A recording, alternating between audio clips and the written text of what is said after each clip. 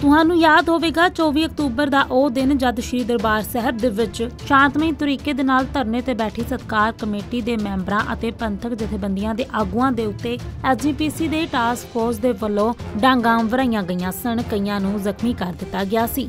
ਤੁਹਾਨੂੰ ਦੱਸ ਦਈਏ ਕਿ ਹੁਣ ਖਾਲਸਾ ਪੰਥ ਦੇ ਵੱਲੋਂ ਸ੍ਰੀ ਦਰਬਾਰ ਸਾਹਿਬ ਦੇ ਨੇੜੇ ਧਰਮ ਸਿੰਘ ਮਾਰਕੀਟ ਦੇ ਬਾਹਰ ਰੋਸ ਧਰਨਾ ਦਿੱਤਾ ਜਾ ਰਿਹਾ ਹੈ।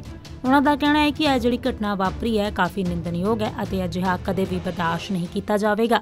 ਹਾਂਜੀ, ਵਾਹਿਗੁਰੂ ਖਾਲਸਾ, ਵਾਹਿਗੁਰੂ ਫਤਿਹ ਜੀ। ਆਪ ਜੀ ਜਾਣਦੇ ਹੀ ਹੋ ਕਿ ਲਗਾਤਾਰ ਜਿਹੜਾ ਮੋਰਚਾ ਜਾਰੀ ਸੀਗਾ, ਪਰ ਸ਼੍ਰੋਮਣੀ ਗੁਰਦੁਆਰਾ ਪ੍ਰਬੰਧਕ ਕਮੇਟੀ ਦੇ ਵੱਲੋਂ ਮੋਰਚੇ ਨੂੰ ਤਾਰਪੀੜ ਕਰਨ ਦੇ ਵਾਸਤੇ ਅਚਾਨਕ ਉੱਥੇ ਆ ਕਰਕੇ ਜਿਹੜਾ ਹਮਲਾ ਕੀਤਾ ਗਿਆ, ਜਿਹਦਾ ਉਹਨਾਂ ਨੇ ਕਾਰਨ ਬਣਾਇਆ ਕਿ ਭਾਈ ਸੁਖਜੀਤ ਸਿੰਘ ਖੋਸੇ ਦੇ ਵੱਲੋਂ ਗੇਟ ਬੰਦ ਕਰ ਦਿੱਤਾ ਗਿਆ ਵਾ, ਸਾਡੇ ਗੇਟ ਨੂੰ ਜਿੰਦਰਾ ਮਾਰਿਆ, ਜਾਂ ਹੁਣ ਉਹਨਾਂ ਦੇ ਵੱਲੋਂ ਹੋਰ ਵੀਡੀਓ ਜਾਰੀ ਕੀਤੀਆਂ ਗਈਆਂ ਨੇ ਜਿਸ 'ਚ ਉਹਨਾਂ ਨੇ ਕਿਹਾ ਕਿ ਸਾਡੀ ਮਰਿਆਦਾ ਨੂੰ ਜਿਹੜੀ ਉਹ ਢਾਹ ਲਾਉਂਦੇ ਸੀ ਸੁਖਜੀਤ ਸਿੰਘ ਖੋਸਾ ਜੀ।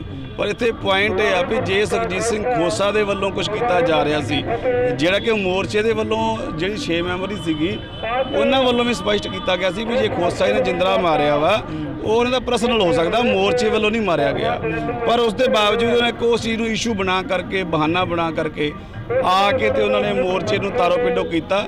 ਤੁਸੀਂ ਜਾਣਦੇ ਹੋ ਕਿਦਾਂ ਕੁੱਟਮਾਰ ਸਿੰਘਾਂ ਦੇ ਨਾਲ ਹੋਈ, ਭੈਣਾਂ ਬੀਬੀਆਂ ਦੇ ਨਾਲ ਹੋਈ, ਸੱਟਾਂ ਲੱਗੀਆਂ ਨੇ। ਸੋ ਉਹ ਸਾਰਾ ਵਰਤਾਰਾ ਜਿਹੜਾ ਬੜਾ ਬੰਦਭਾਗਾ ਸੀਗਾ ਤੇ ਜਿਹੜਾ ਜਵਾਬ ਉਹਨਾਂ ਕੋਲੋਂ ਮੰਗਿਆ ਜਾ ਰਿਹਾ ਸੀਗਾ ਉਹ ਜਵਾਬ ਹਜੇ ਤੱਕ ਵੀ ਕੌਮ ਨੂੰ ਦਿੱਤਾ ਨਹੀਂ ਗਿਆ ਤੇ ਕੌਮ ਮੰਗ ਰਹੀ ਹੈ ਜਵਾਬ ਅਜੇ ਤੱਕ। ਇਸ ਮੌਕੇ ਤੇ ਉਹਨਾਂ ਦਾ ਕਹਿਣਾ ਸੀ ਕਿ ਪੁਲਿਸ ਨੇ ਇੱਕ ਪਾਸੜ ਕਾਰਵਾਈ ਕੀਤੀ ਹੈ ਸਿੰਘਾਂ ਦੇ ਉੱਤੇ ਹੀ ਮਾਮਲੇ ਦਰਜ ਕਰ ਦਿੱਤੇ ਨੇ।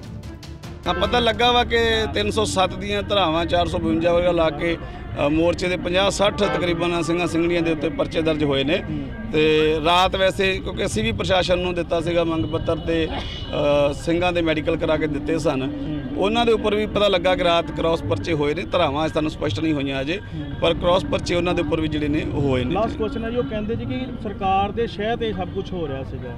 ਵੇਖੋ ਅਸੀਂ ਸ਼ੁਰੂ ਵਾਲੇ ਦਿਨ ਤੋਂ ਹੀ ਤੇ ਐਂਡ ਵਾਲੇ ਦਿਨ ਤੱਕ ਕਹਿੰਦੇ ਰਹੇ ਹਾਂ।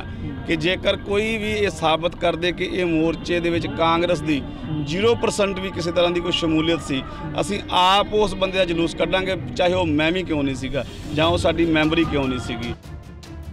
ਮੁਕੇਸ਼ ਮਹਿਰਾ ਦੀ ਰਿਪੋਰਟ ਦੇ ਨਾਲ ਦਾ ਟੀਵੀ ਐਨਆਰ